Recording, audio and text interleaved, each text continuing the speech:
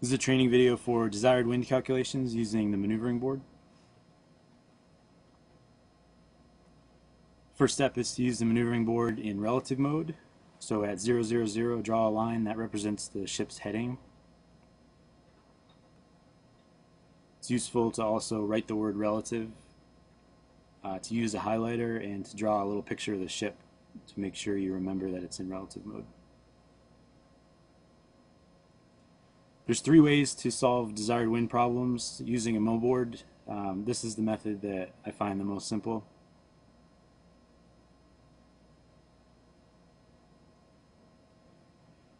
Next, you want to write down uh, the true wind, direction, and speed. This was calculated in a previous training video. Today it's 160 degrees true at 6.5 knots.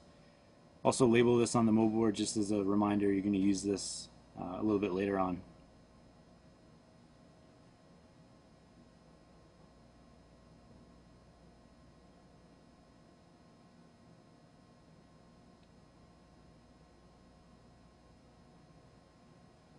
Okay, we're going to use the 2 to 1 scale on the MOBOARD today, so uh, write that down and make sure you remember to keep everything in the 2 to 1 scale.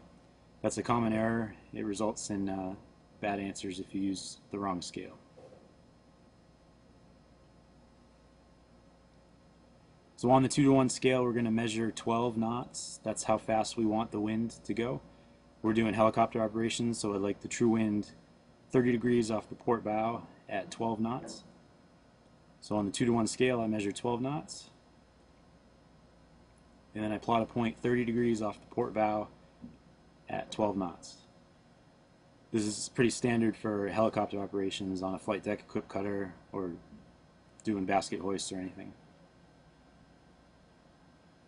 Label this point alpha and then draw a vector from uh, alpha to the origin. This represents the desired wind that we want. Again, 12 knots off the 30 degrees off the port bow.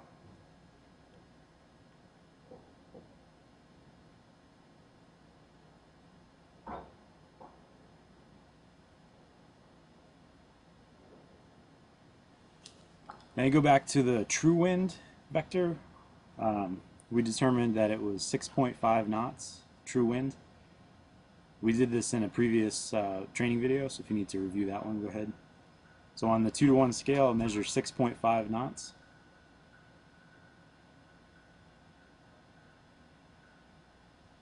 And now you swing an arc from uh, point A across the ship's head at 6.5 knots. This arc is going to intercept the ship's head almost always uh, in two places.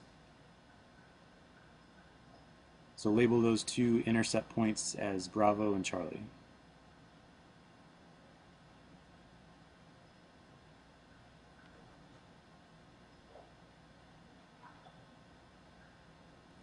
These two points represent two possible solutions to the problem. Almost always you use point Bravo because it results in a lower ship speed. So now what you do is measure from Alpha to Bravo or Alpha to Charlie if you want to use that one, but today we'll use Alpha to Bravo. Parallel that line back to the origin. And draw out the solution vector.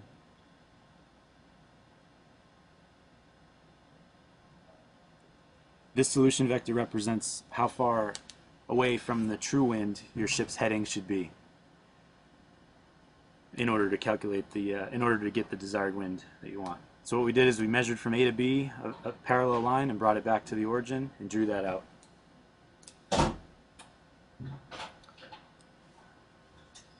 Today we're going to measure that at 60 degrees off the bow. Again, this is a parallel line from A to B that's brought back to the origin, 60 degrees away from the ship's heading. Okay, so now we go back to the true wind that we wrote down earlier, count 60 degrees off of it, and the answer there is the heading that you need to bring your ship to to get the desired wind that you wanted earlier. So we count 60 degrees off. In this case, we come up with 220. So we're going to point the ship at 220, and we're going to change our speed to be the, uh, the same as from the origin to Bravo, which was the point we used.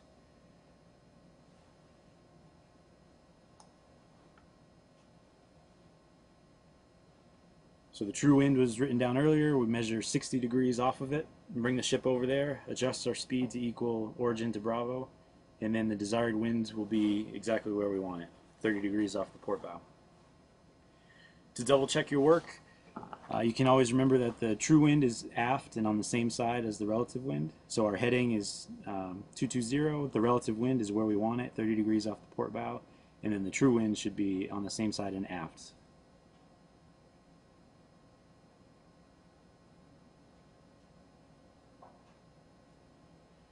So to quickly review, put your ship's head at 000 degrees true. Draw out a vector representing the desired wind. Swing an arc 6.5 knots or the true wind. The intercept points are Bravo and Charlie. Parallel from Alpha to Bravo back to the origin. Count the number of degrees from the head to that line, and that's your answer.